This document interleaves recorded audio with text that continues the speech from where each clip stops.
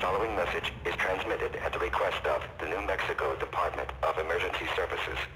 At 9.47 a.m. Mountain Standard Time, a disaster of unknown type has occurred at the Black Mesa Research Facility, causing significant damage and failure to various power and communication systems in the surrounding areas. This message replaces the previous alert, which expired at 12.01 p.m. Mountain Standard Time this afternoon. A full quarantine has been issued for the Black Mesa area.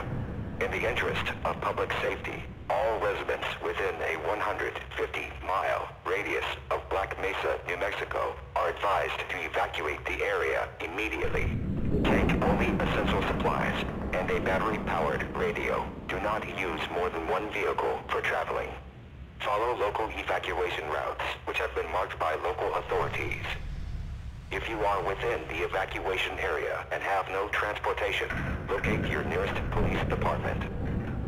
If you begin experiencing a fever, coughing, nausea, dizziness, muscle ache, pneumonia, hair loss, or any such similar ailments, please contact your nearest disease control center immediately as these symptoms may be related to recent events.